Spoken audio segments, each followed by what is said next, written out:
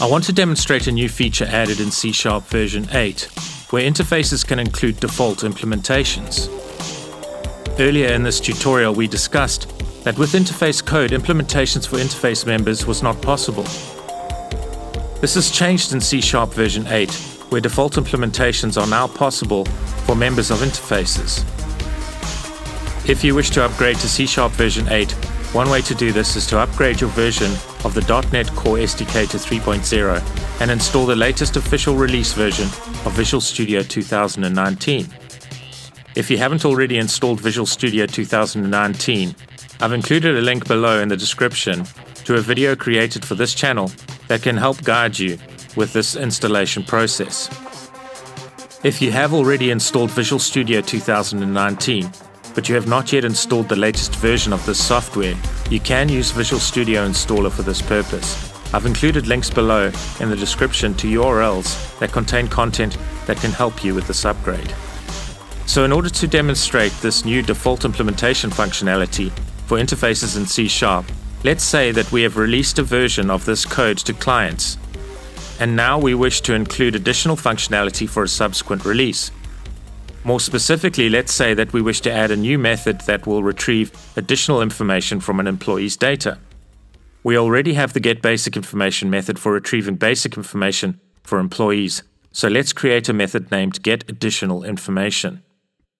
And you can see that if we add a method definition for getAdditionalInformation to the iEmployee interface, that this breaks our application because we are violating the rules enforced by the C compiler whereby a class that implements an interface must implement code for all its members. So if we hover our mouse pointers over the red squiggly line presented under the iEmployee text in the employee class definition, we can see that C Sharp has presented us with an error message stating employee does not implement interface iEmployee.get additional information. So let's say for the moment we want to include the new get additional information method in the iEmployee interface but we don't yet know which additional information we wish to return to the calling client. So we are able to include a default implementation in the iEmployee interface like this.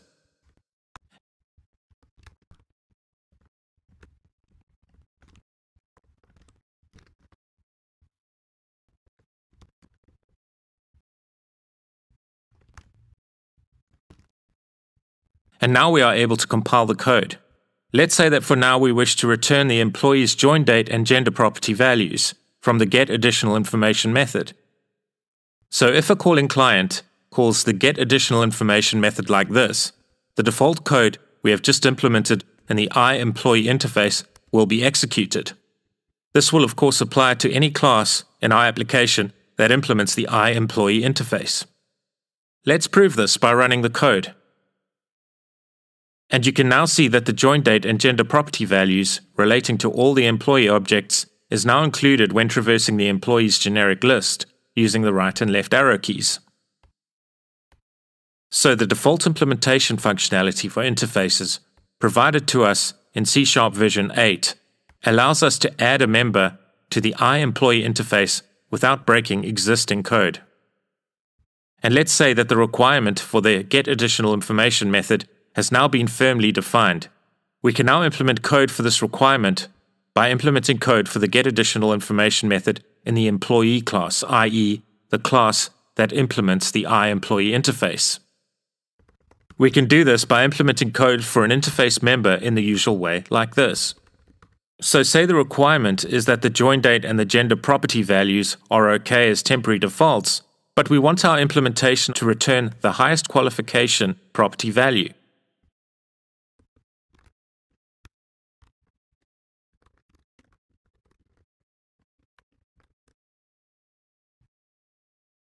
Okay, let's run the code. And you can see that the highest qualification property value is now included in the output rather than the join date and gender property values. So let's prove that C Sharp versions prior to version 8 do not support default member implementations for interfaces. So if I right click on the property node in the Solution Explorer window and click the Property menu item, then on the application screen, we change the target framework to the previous version of the .NET Core runtime installed on this PC. So I'll change the version of the .NET Core runtime for this project to .NET Core version 2.2. The effect of this change is that version 8 of the C Sharp language will not be supported for this project. And now you can see that the C Sharp compiler is flagging an error. If we hover our mouse pointers over the red squiggly line under the Get Additional Information default implementation of the iEmployee interface, you can see a compile time error is presented, and this message states, Feature default interface implementation is not available in C Sharp version 7.3. Please use language version 8.0 or later. Target runtime doesn't support default interface implementation. So I think that message is pretty clear. Right, so I'll change the .NET Core runtime version back to .NET Core version 3.0. And you can see that the default implementation for the get additional information method is once again accepted by the C Sharp compiler, because C Sharp version 8 is now supported for this project. So up until now, we have focused on implicit implementations for interface members. A developer is also able to create explicit implementations for interface members. Let's create an example to explore what is meant by an explicit implementation of interface members and how explicit implementations for interface members can be useful. So in this tutorial, we have created our classes and interfaces manually. But we are able to generate code that serves as a starting point for classes and interfaces through appropriate templates provided by Visual Studio. So to add an interface in this way, let's right-click the property node in our Solution Explorer window. Let's then select the Add New Item menu item. We are then presented with the Add New Item dialog box. Let's select the list item marked interface. Let's give our new interface a name. We'll call this interface iApartment. And then let's click the Add button.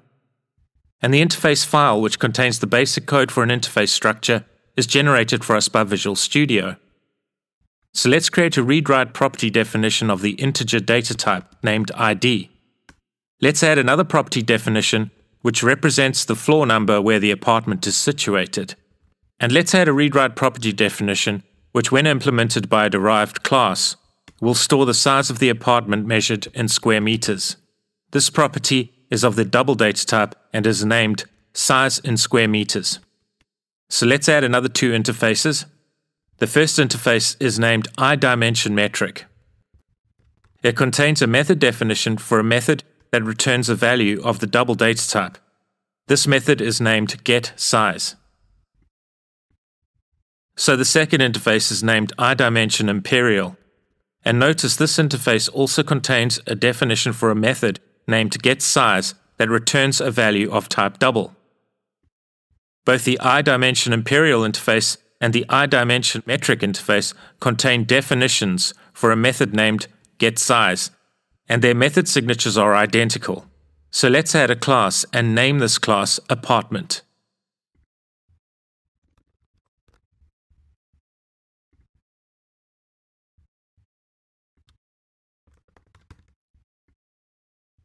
And let's write code that implements the three interfaces that we just created, namely the iApartment interface the iDimensionMetric interface, and the iDimensionImperial interface. Let's then implement the members for the iApartment interface implicitly like this.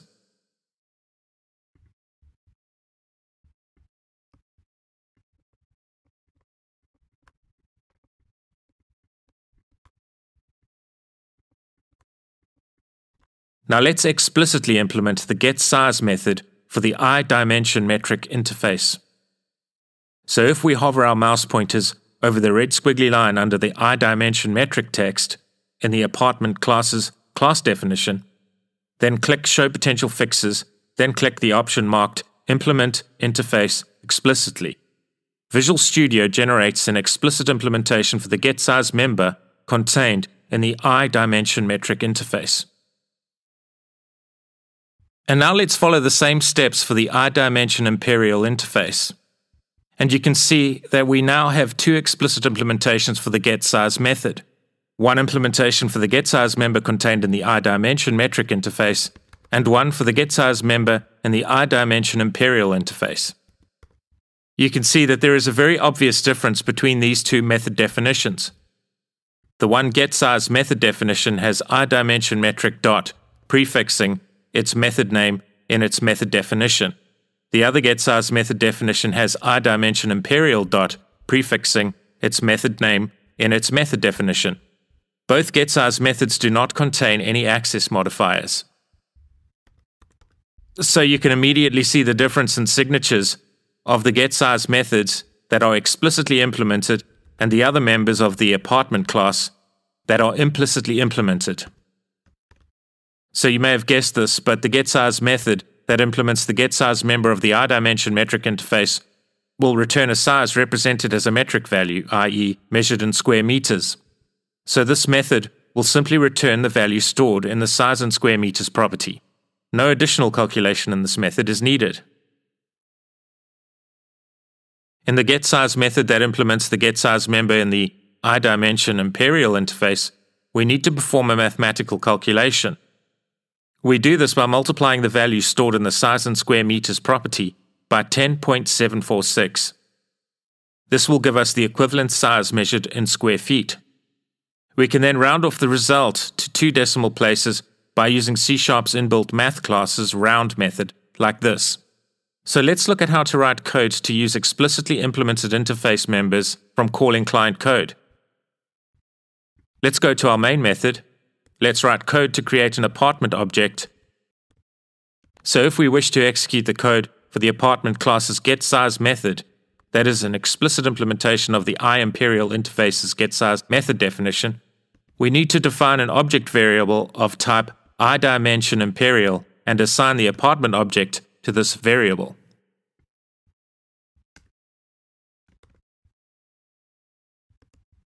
And if we wish to execute code for the apartment class's getSize method, that is an explicit implementation of the iDimension metric interface's getSize method definition, we need to define an object variable of type iDimension metric and assign the apartment object to this variable. Let's write the code that writes the return values of these two methods to the console screen.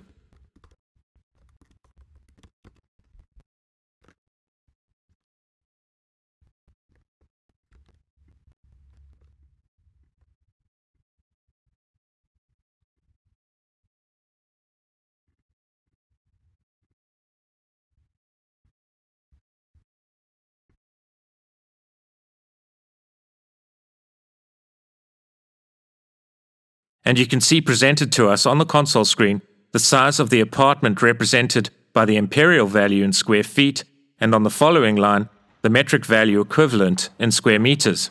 Excellent. We've discussed the rules associated with interfaces and how to apply them in code to implement a structural design for our applications.